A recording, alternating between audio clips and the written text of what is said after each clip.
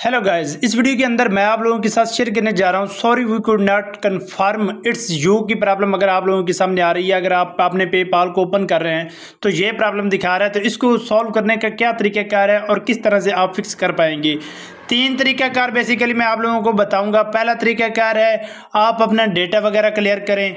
अपना जो ब्राउज़र आप इस्तेमाल कर रहे हैं, वो ब्राउज़र चेंज करें और उसको फोर्स स्टॉप करें और कैची वगैरह या उसका जो कुकीज़ वगैरह हैं, वो क्लियर कर दें। उसके बाद आप लॉगिन करें, हो जाएगा। अगर फिर भी नहीं हो रहा तो फिर आप लोगों के पास जो दूसरा तरीक़ाकार है, वो दूसरे तरीक़ाकार के मुताबिक आप अपने डिवाइस चेंज कर लें। यानी कि जिस मोबाइल में आप पहले लॉगिन कर रहे हैं, दोबारा उसमें ना करें।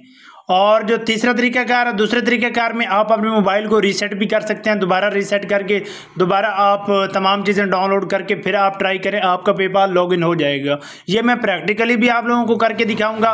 और जो तीसरा तरीक़ाकार है, आप अपने पेपाल को जिस भी कंट्री का पेपाल आप लोगों ने बनाया हुआ है, क्योंकि पाकिस्तान में ऑफिशियली अवेलेबल नहीं है, यहाँ पर यूज़ करना।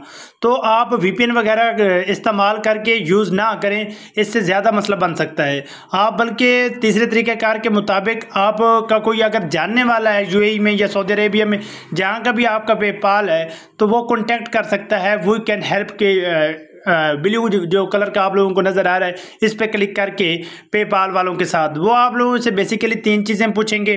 पहली वो आप लोगों से पूछेंगे आपका पूरा नाम, दूसरा आप जो आप लोगों ने इसके अंदर बैंक ऐड किया हुआ है, उसके आखिरी चार डिजिट पूछेंगे।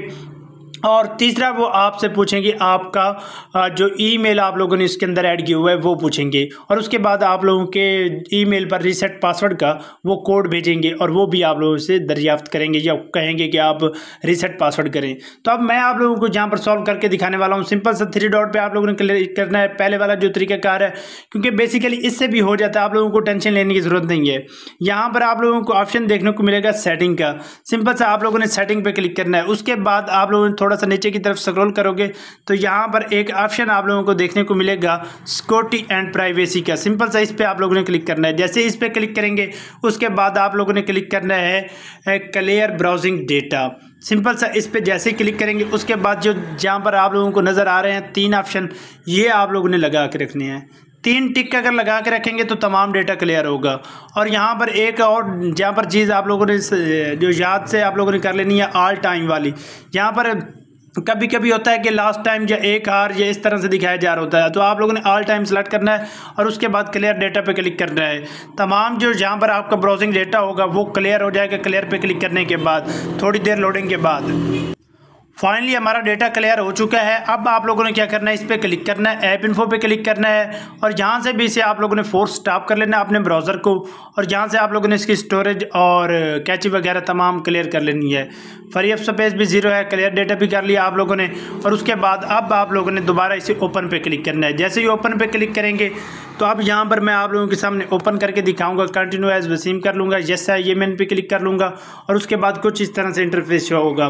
तो जिस कंट्री के भी आप लोगों के पास पेपाल मौजूद है, वही आप सेलेक्ट करेंगे U A E PayPal login simple से जैसे सिलेक्ट करेंगे यू ए पेपाल लॉगिन तो उसके बाद कुछ इस तरह से हमारे सामने इंटरफेस होगा। तो यहाँ पर आप लोगों ने अपना ईमेल डालना है।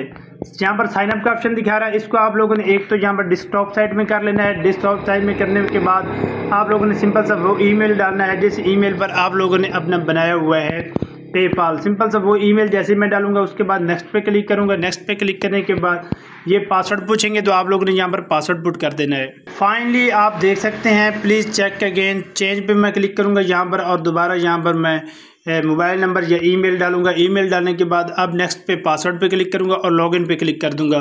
तो यहाँ पर अब आप देख सकते हैं कि बिल्कुल आसानी के साथ आप अपने पेपाल के अंदर लॉगिन हो चुके हैं।